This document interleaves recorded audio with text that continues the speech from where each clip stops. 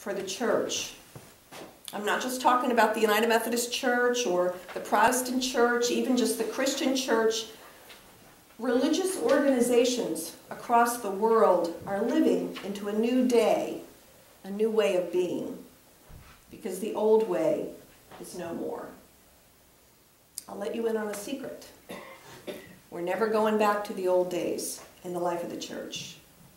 You know, the heydays, the 50s, the 60s, the 70s, when, when churches were thriving on every street corner, in every town, in every city. We're not going back there. At least not in the way that we grew up. Some of us grew up understanding church. As I shared with you, I'm a regional guide in, this, in the Annapolis Southern region of the Baltimore Conference. I have 31 churches that I care for, 31 pastors I coach every month with a phone call.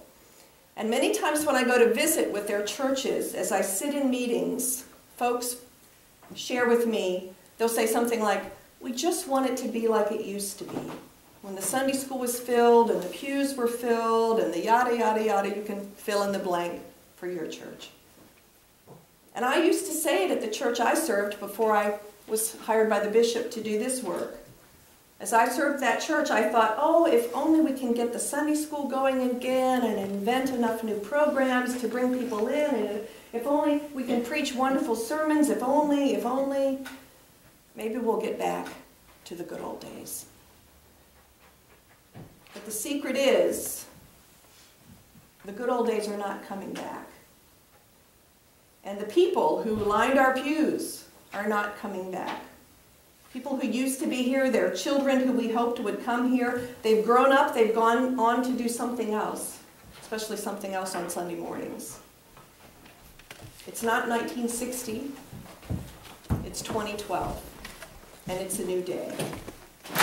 And every church, every religious organization, I'm talking Catholic, Jewish, Protestant, every religious organization is experiencing what our United Methodist churches are experiencing. Graying population in the pews and fewer people among us. Now, I know by this point you're thinking, who is that woman and why did she come in here to depress us on a Sunday morning? well, what I like to do is face reality and then take the next step. Okay? So, you know, they always say that awareness is the first step towards healing, so I've just given you awareness. This is where we are. And so now, how do we move from where we are to the wonderful future God dares to give us and show us? That's what I want us to talk about today. Now, now if you want facts on, and statistics on what I've just shared with you, we've got plenty of them. Wendy, Wendy knows where to get the facts and statistics. We have Gallup type studies. We have studies that the Methodists have done. I downloaded a study um, a few weeks ago on the last decade in the life of religious organizations. It would bring you to your knees if you read that thing.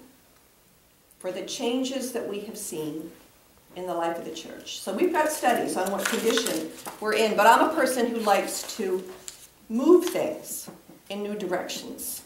It's gotten me into trouble in every church I've ever served, but I believe that God is a God with 2020 vision.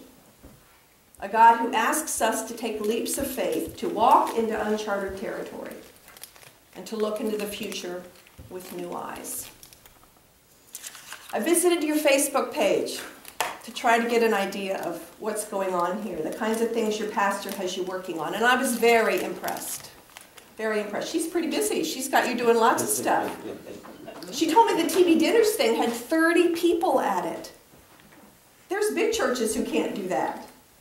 And the youth group making candy valentines for the shut ins, I can tell that she is leading you through a time of visioning and imagining and changing the way you see ministry and do ministry in the 21st century, and that is so good. And tell the DS, the district superintendent. Part, maybe most of the reason I think that we've gotten ourselves into this mess in the first place is because we as churches have failed to do the visioning necessary, failed to change as our society rushed by with changes every day.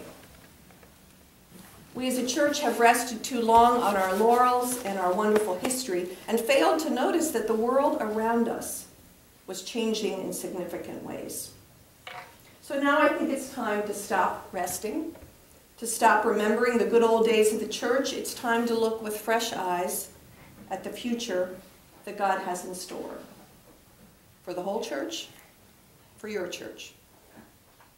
There's nothing wrong with remembering our history as long as it doesn't keep us from acknowledging where we are right now and where God is calling us to go.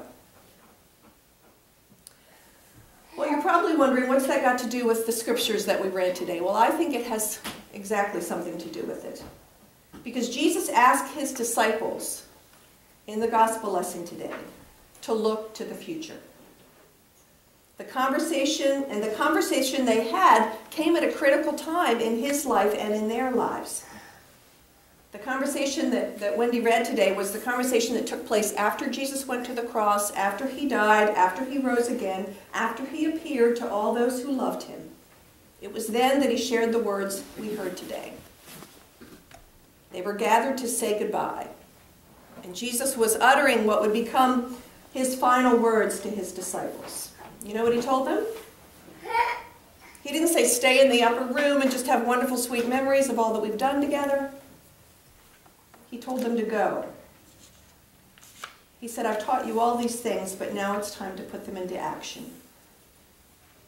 Now it's time to get busy and go out. I love the words across your door. Go ye into all the world. That's what he said. Go out and make more disciples. Now I want to read this passage from the Message Bible. Jesus, undeterred, went right ahead and gave his charge. God authorized and commanded me to commission you. Go out and train everyone you meet, far and near, in this way of life, marking them by baptism in the threefold name Father, Son, and Holy Spirit. Then instruct them in the practice of all I have commanded you and I'll be with you as you do this, day after day after day, right up to the end of the age. Now, I chose this scripture to talk about the church's vision for the future because it's often the very thing we forget to do to go out, to get up out of our comfortable seats and go out and share the good news of Jesus with others. With those who don't know him, with those who haven't heard about it, with those who have never met our Savior. We live in a very different world in 2012 than the world that I was born into. When most of you were born, it wasn't anything like 2012. We live in a fast, technologically always changing kind of world. We live in a world of mass communication where people are exposed to news, religions, ideas, education in ways we never dreamed of 50 years ago. Do you realize the internet did not exist 20 years ago? Think about how much our world has changed since the internet was invented. Think about how little the church has changed. Therein lies the problem. So I'm all for working towards solutions, and here's what I, where I see the hope for the church. You're actually already seeing it here at Delmont. Wendy's showing you, helping you to see church in the 21st century. The fact that we're recording this and it goes on YouTube. And she told me this morning there's shut-ins who are complaining. I couldn't get to church and you forgot to post till Tuesday or whatever. church in the 21st century looks little like you and I knew growing up. The music is more current and contemporary, more varied and unpredictable.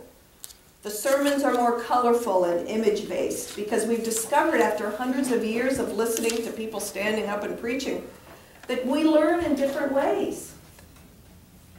Sometimes we learn better by seeing. So some pastors use PowerPoint or they do altar displays or some other way of visually sharing the message. We learn by experience. So some churches do drama. Or they hand out things at the end of worship, like a stone. She'll hand you a stone as you walk out the door if the message has been about Jesus is the rock of our life, or, or a seashell when, when the message has been about baptism in the water. We learn by doing. So many growing churches are engaged in mission on a regular basis, even on Sunday morning, some of them. Making soup sandwiches for the soup kitchen at the end of worship, kind of as a testimony to here we are serving others and going into the world. It's a new day for the 2020 church. And our children, after going to school all week, aren't too interested in sitting in another classroom but they just might be interested in something more like a vacation Bible school format.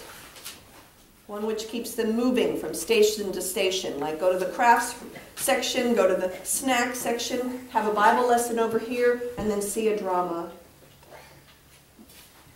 A 2020 vision for the church is what God is asking us to think about. Now, to be honest, the changes that I've just lifted up to you are the easy ones. It's easy to make those changes. It's the stuff that Jesus spoke about in today's lesson that is the hardest. Because he's asking all of us to carry the message we've learned in here to those we meet outside those doors. My friends, the days are gone when people move into a town, look in the yellow pages for a nice church, and start coming.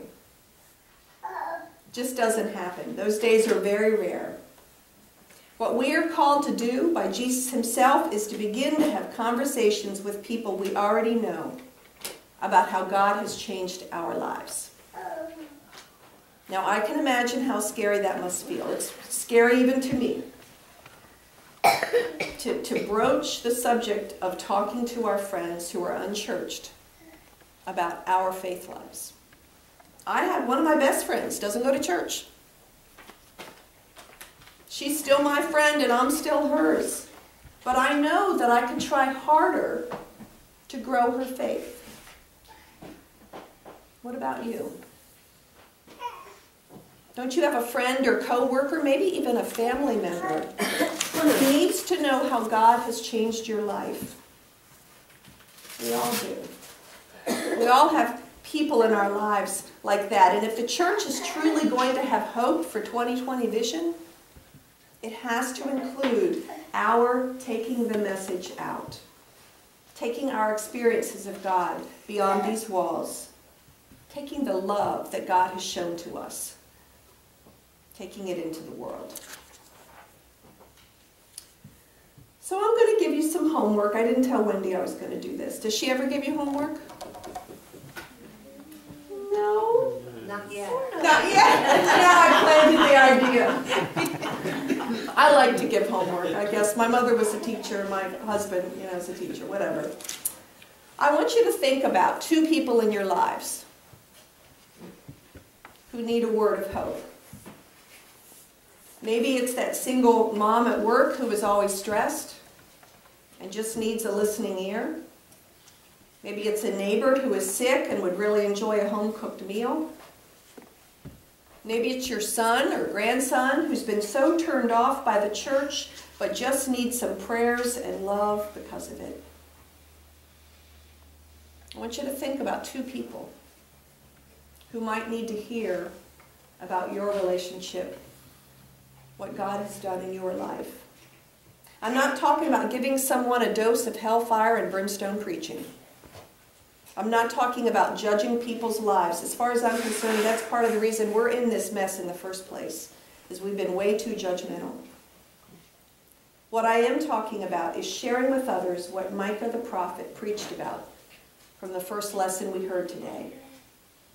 I'm talking about doing the just thing, doing the right thing, doing the kind thing, and walking with God every day. Sharing a meal with a worn out mom offering to pray with a neighbor who is sick, accepting a son or grandson who is different but still a wonderful child of God.